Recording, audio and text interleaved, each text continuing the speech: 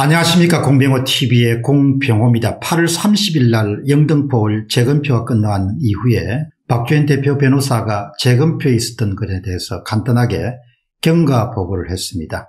아, 여러분들이 아마 영상물도 아마 보셨을 텐데 영상물을 아주 간략하게 이렇게 어, 박성경님이 요약해서 정리를 했기 때문에 또 영상도 보시면서 동시에 요약본도 보시게 되면 좀 더 영등포울에 일어났던 일들을 조금 더 정확하게 우리가 파악할 수 있지 않겠느냐 그렇게 생각합니다. 아마 앞으로 어떤 형식으로 간에 원고 측 변호인단으로부터 공식적인 입장 발표가 곧 있을 것으로 봅니다. 짧은 결과 발표와 그 의미를 한번 살펴보도록 하겠습니다. 우선 첫 번째는 조재현 대법관은 촬영이 절대 안 된다. 절대 금지를 선언했습니다. 박주현 변호사가 호소했고 또 조재현 그리고 부장 판사, 법원 직원들이 모두 다, 다 자식이 있지 않냐 그리고 손주도 있지 않냐 당신들만 잘 살면 그만이겠냐 우리 자식들도 잘 살아야 되지 않겠느냐 부정성을 용인하면 되겠느냐 그렇게 해서 박주현 변호사 일단 설득을 했는데 그러자 조재현 씨는 투표지는 촬영을 하면 절대 안 된다. 그런 사례가 있느냐 있었다면 가져와라. 무슨 근거로 촬영을 금지하느냐 그러자 조재현 이 한마디도 못했다고 합니다. 법을 잘 알아야 될 그런 법관이 선거법 진행 절차에 대해서도 무지하고 법에 대해서 무지했다는 사실을 많은 사람들에게 공개한 것과 같은 그런 효과가 발생했습니다. 제가 이 내용을 보고 정말 조재희라는 사람이 참 나쁜 사람이다 이런 생각을 하게 됩니다. 재검표에서 검증이 대상할 될 그런 검증 대상이 투표지입니다.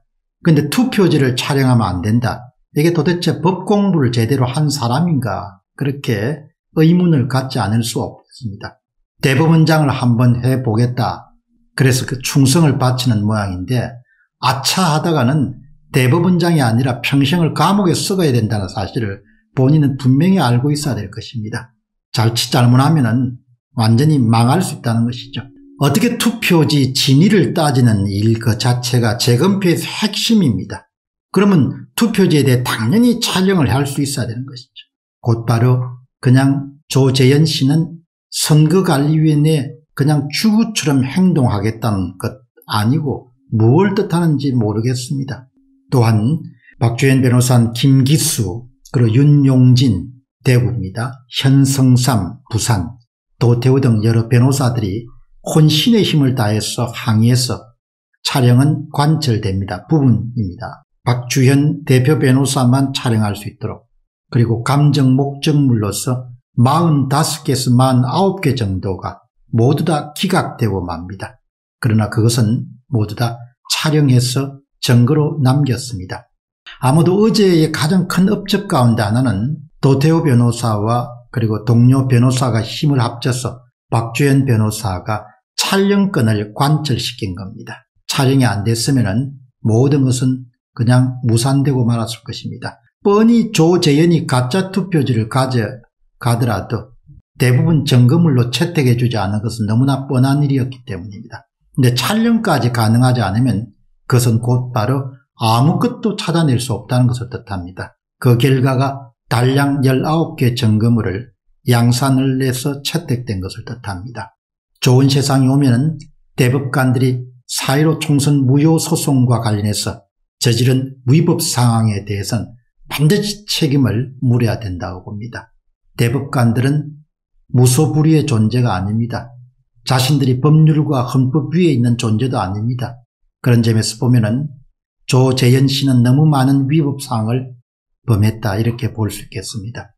6월 28일 인천 재검표의 투표지는 상대적으로 거의 손을 안 댄 경우와 같았다. 이렇게 박주현 변호사가 놀라운 발언을 하게 됩니다. 그만큼 상대적으로 양산을과 영등포의 경우에는 관내 사전투표와 관내 사전투표를 몽땅 바꾸치기 한 흔적이 뚜렷했다 이렇게 보는 겁니다. 여러분 여기서 오해가 없어야 될 것은 인천 연수원에서도 재검표에서 손을 댔는데 상대적으로 너무나 많이 양산을과 영등포에서 사전투표에 손을 댔다는 이야기입니다. 저의 해설은 6월 28일 인천 연술에서도 엄청난 조작이 있었지만 상대적으로 양산을과 영등포에 더 많은 조작이 있었다는 겁니다. 그런데도 불구하고 박주현 변호사는 6월 28일 날 실시됐던 인천 연수의 경우는 상대적으로 손을 대지 않은 것처럼 느껴질 정도로 바로 영등포의 조작이 심했다는 겁니다. 그만큼 8월 23일 날 양산들과 8월 30일 날 영등포의 조작 수준이 상상을 초월할 정도로 심했음을 알 수 있겠습니다. 다음에 아주 중요한 발언은 바로 박주현 변호사가 조재현 대법관은 마치 위로부터 지령을 받고 내려온 듯이 행동했다. 아주 중요한 부분입니다. 누누이 강조하는 것처럼 조재현 대법관은 자의반 타의반으로 총대를 메고 부정선거 규명을 외치는 사람들을 진압하기 위한 행동대장으로 활동할 것임을 대내외 분명히 지금 천명하고 있습니다. 그것은 아마도 자리에 대한 욕심 때문일 것입니다. 그래서 그는 자리에 대한 욕심, 대법원장에 대한 욕심이 그의 인생을 파멸로 이끌 수 있음을 그런 아주 유력한 가능성에 그런 눈을 감고 있는 겁니다. 조혜주가 중앙선거관리위원회 내의 상임위원이 전국에 갈겨놓은 그 많은 똥덩어리를 조재전 혼자서 어떻게 그것을 다 은폐하고 숨기겠습니까? 정말 어리석은 인간입니다. 스스로 땅을 치고 후회하는 날이 분명히 올 것입니다. 다음은 박주현 변호사가 영등포을 주심은 원래 조재현이 아니었습니다. 조재현이 바로 이 부정선거를 완전히 은폐하기로 그 임무를 띄고 온 것처럼 행동했다. 뭐 그건 당연하죠. 변호사 개업을 한 사람을 갑자기 대법관으로 만들어 뒀으니까 문재인 사법연수원 동기입니까? 부장판사도 안 해본 사람이 바로 대법관이 된 겁니다. 벼락 출시를 한 거죠. 벼락 출시해서 법원 행정처장을 해보니까 권력이 좋거든요. 당연히 대법원장이 돼야겠다. 대법원장이 되면 알려면 뭘 해야 되냐. 부정선거와 덮으면 따놓은 당상이겠죠.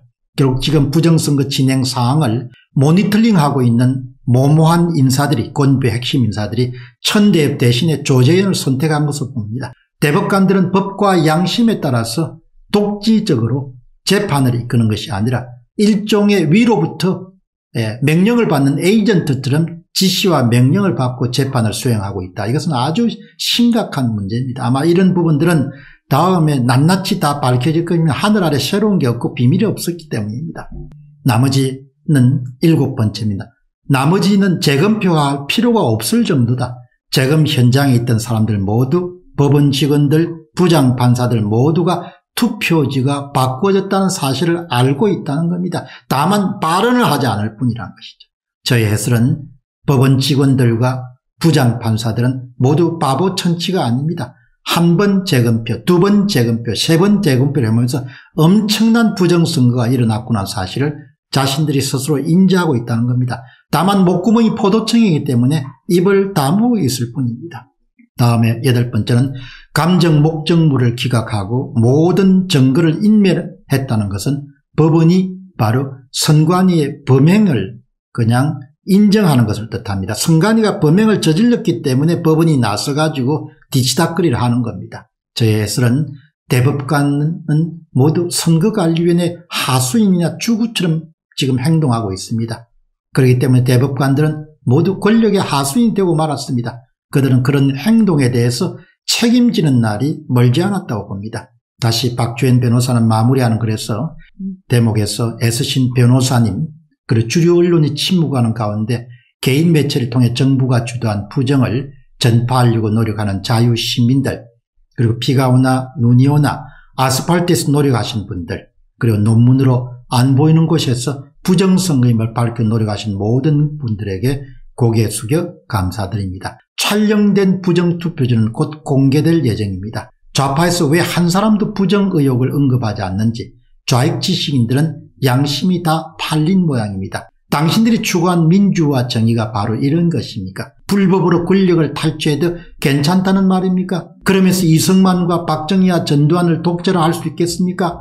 야당과 언론, 대권 후보들은 부끄러운 줄 알아야 됩니다. 대한민국이 망한다면 바로 침묵한 그대들 탓인 것을 분명히 알아야 될 것입니다. 이렇게 박주현 변호사가 아주 그냥 일괄해서 그냥 나무랍니다. 상당히 대중연설을 박 변호사가 잘합니다. 호소력이 있게. 예, 어떻든 문제의 핵심도 정확하게 파악하는 능력이 있고 그래서 이번에도 아주 뭐 완전히 만족스럽지는 않지만 그런 어려운 상황에서도 재검표를 제대로 잘 해냈다 이렇게 어, 격려를 보내고 싶습니다. 공병호 TV의 공병호였습니다. 감사합니다.